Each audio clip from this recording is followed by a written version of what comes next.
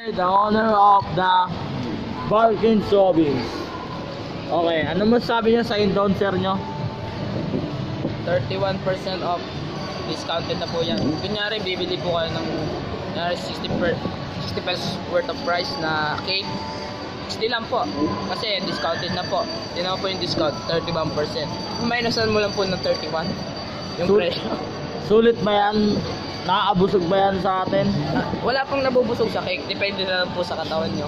Pero ang cake po is pang celebrate ng mga birthdays, mga parties. So cake pala yan. Ah, Pala yan. pabor ba yan sa mga mamimili? Mahal ba yan o mura lang? Mura nga po kasi meron na po kaming discounted. Tanong lang. Hindi naman po nagpapakita ng discounted. Tinatanong mo lang, galit ka ba? Hindi, hindi naman po pinapakita ng discounted price na na ano, kunyari pangit yung cake namin, may nabenta kaya dinidiscountan. Hindi naman ganon. Which it means na ano, gusto talaga namin na bumili yung mga tao at sulit ang pera nila. Eh, yung discount niya pang March 31, May 31 lang yan nakalagay eh. Oh. Hindi, Paano yan? Kung Iba may po kasi March, one day lang yan sa, sa isang buwan. hindi pa po kasi updated yung ano. Hindi pa po kasi updated yung Presyo. Updated yung date. Pero hanggang ngayon po, Hindi kasi ito- hanggang December na po yan kasi pa magpapasko po. December ay nakalagay dyan.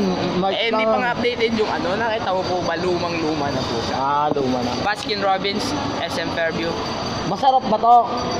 Masarap yan. Gusto mo, bumili ka na ngayon.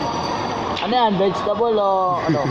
Ay, tamong ice cream, tapos cake, vegetable. Siyempre. Bongo. Tatanong lang, may cake naman na vegetable ah. Okay, Dismiss, dismiss, dismiss. Dismiss. Thank you, thank you.